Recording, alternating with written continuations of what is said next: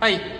今回のテーマとしては裏面に表ソフトを貼るメリットとデメリットについて解説をしていきたいと思います。この動画は私個人の意見であり参考程度にご視聴ください。ではお話ししていきますね、まあ、あまりいないかもしれないんですけど人によっては裏面に表ソフトを貼って卓球してる方っていらっしゃると思うんですよ。それが間違いではないです。ただ裏面に表ソフトを貼ることによってどういったメリットがあってどういったデメリットがあるかということをちゃんと理解しておくことで、ま、その表ラバーを貼ることの意味が分かってくると思うので、まあ、ぜひ参考にしていただければいいかなと思います。まずはメリットからいきましょう。表ソフトを貼るメリットの1つ目としてはレシーブがやりやすくなるということです、ま、裏面打法を振る理由としてはやっぱりこう3球目攻撃であったり長いサーブに対する処理をやっぱりこう裏面で行いたいという方が多いと思う。んですそうなった時に裏ソフトラバーでもしっかり振っていくことができたらレシーブはできるんですけど表ソフトラバーの方がそれこそ回転の影響も受けにくいですし軽く合わせるだけでも下回転のボールが上がってくれたりとか上回転のボールに対してまっすぐ押していくことができるからレシーブは裏より表の方がやりやすいかなと思います。台上技術でもそうですよね。台上技術でも変にこう利面でガンって振りにいかなくても、まあ、表ラバーやったらちょっとボールの下に軽く入れて乗っけながらパーンって打つだけでボールが入ってくれてそれこそ変化が出てくれて嫌なボールにもなってくれるんでレシーブのやりやすさは表ソフトの方が簡単かなと思います。2つ目のメリットとしては軽く合わせるだけでも変化が出てくれるということですね。これはもう表ソフトあるあるなんですけど結局自分からゴンゴンゴンって打たなくてもそういうこと逆使えた時に軽く当てるだけとかブロックで軽く合わせるだけってなった時でもちょっとこう揺れるようなボールが出てくれて相手が嫌がってくれる。まあ、また前に落とすようなボールもやりやすいですね。ブロックで使うんやったら表ソフトすごいいいかなと思います。打たれたボールに対して軽く短く止めたりパーンってちょっと押し込んだりとかそういった変化がつけやすいかなと思います、まあ、自分から作ることもできるし勝手に変化も出てくれるのが表ソフトのいいところかなと思います。3つ目のメリットとしてはこれはまあメリットっていうのか分かんないですけど滑らないというところです。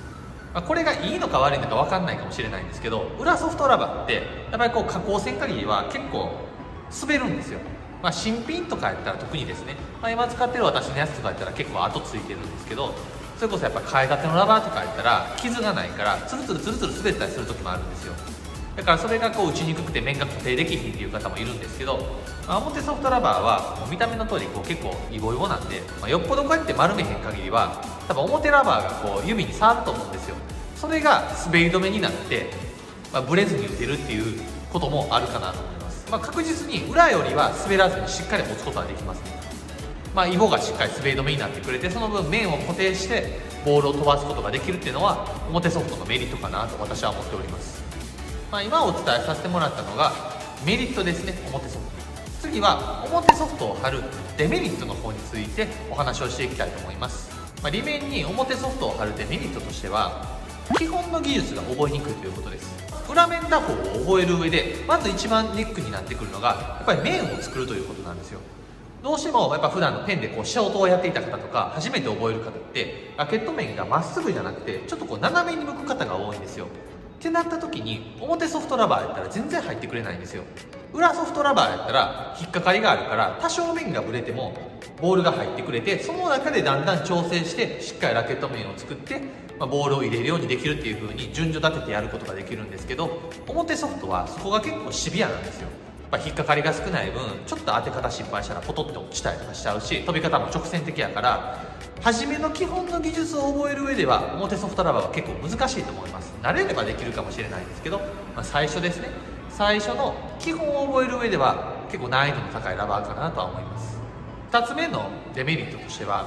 2面ならではの特徴を出しにくいということです。それは表ソフトラバーやったら表ソフトの変化は出てくれるんですけど裏面打法の特徴ってそれこそボールに対して横回転を加えたりとかそういった独特な裏面打法ならではの変化があると思うんですよ。それがちょっと出にくいかなと思います、まあ、表ソフトの変化でいいわっていうんやったらまた別ですけどちょっとチキータとかですよね。やっぱ下回転のボールに対してチキータで攻めていったりとか裏面ドライブでしっかり回転をかけてるけど相手がポトって落ちるような、まあ、裏面ならではのやらしい変化は出しにくいと思います。まあ、台上でこう回転をかけて攻める技術がやっぱちょっとやりにくいっていうのは、まあ、表ソフトの違いですね、まあ、3つ目のデメリットとしてはまあ、これは表ソフトのデメリットにもなってくるんですけど下がった時に打てないということです、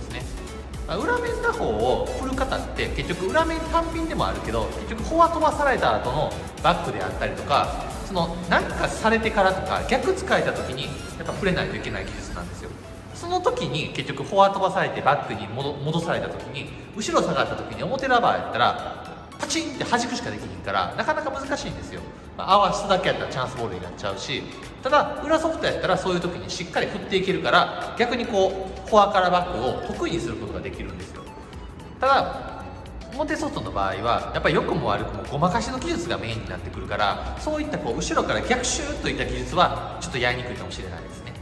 まあ、参考程度に私自身が裏面のラバーで表ソフトを使用しない理由ですね。そちらについてお伝えをしていきたいと思います。私は基本的に裏面のラバーは強氷を使用しているんですけど、まあ、これは何回もお伝えさせてもらってるんですけど強氷とか裏ソフトを使用している理由はまずは回転の変化ですね。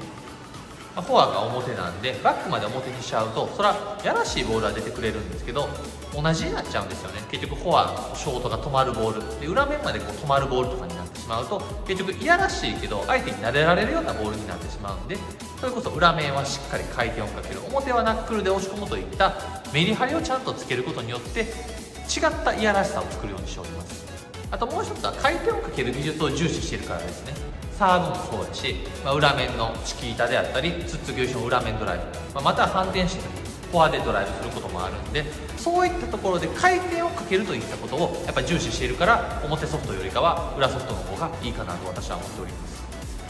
まとめとしては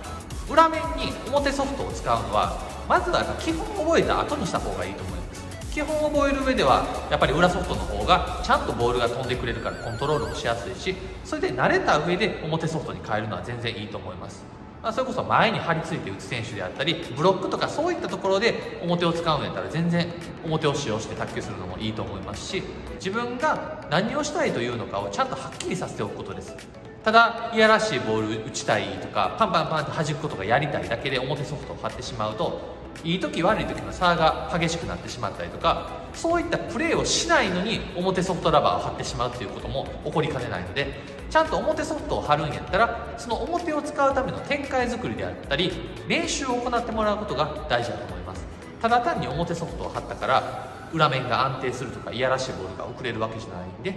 裏面を貼るんやったらその目的戦術の作り方をちゃんと意識して練習を取り組んでもらうことが大事かなと思いますね。この動画は私個人の意見であり参考程度にご視聴ください。もしこの動画が参考になった方はチャンネル登録高評価コメントよろしくお願いします。